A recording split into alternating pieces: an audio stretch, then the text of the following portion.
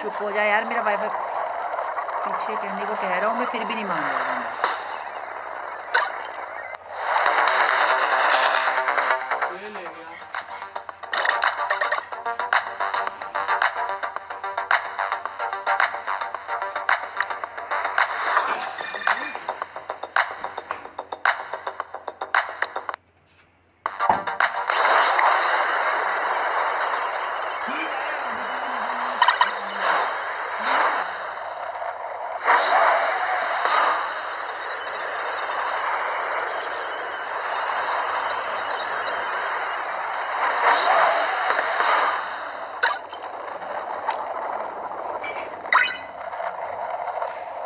Corona virus के चक्कर में लोगों को बहुत अच्छा मौका मिल गया।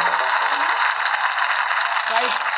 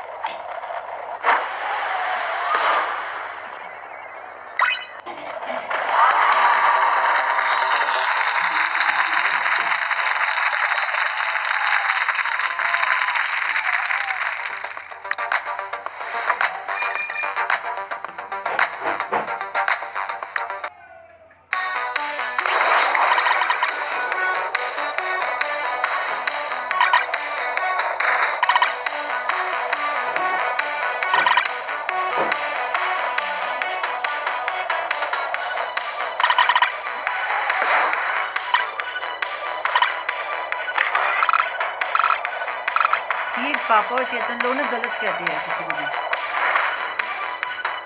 नहीं कुछ नहीं।